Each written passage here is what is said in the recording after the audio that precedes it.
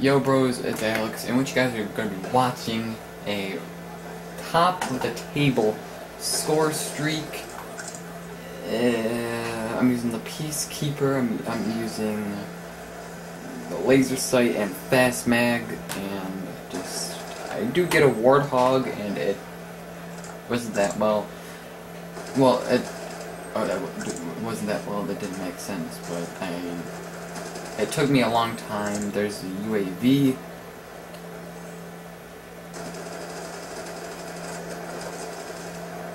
Dude, that dude lagged so hard. This is a hard point. We are getting annihilated. Uh, but the Warthog, that dude doesn't want to play. So there's the counter UAV.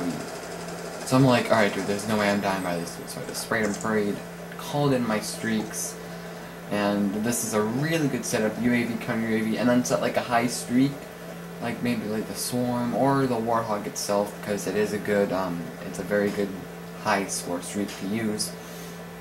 Especially in a hard point, you just gotta know when to call it in. Like, you don't want to call it in a hard point when it's uh, inside the map.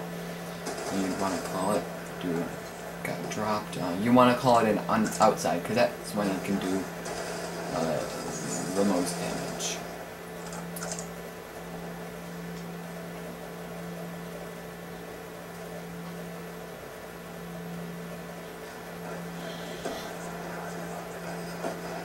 Dude, that game loved me right there. I seriously, I, I heard the hunter killer. I'm like, great.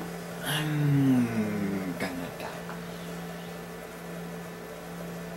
Pick up this pack. There's one dude. At this. Sound for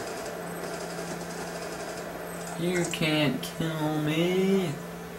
And then this is where I get the warthog and it's outside, and then so I figured that uh, it's the best time to call it in, and this to me is the best um, as I get another turn of points. Trying to rack up more score.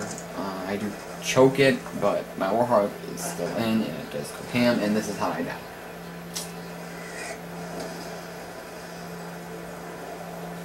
Should not have called that in, and right there, so we went on a little tear. Uh, it was going 19 and 6. I do have a good game, but I just wanted to show you guys the Warthog.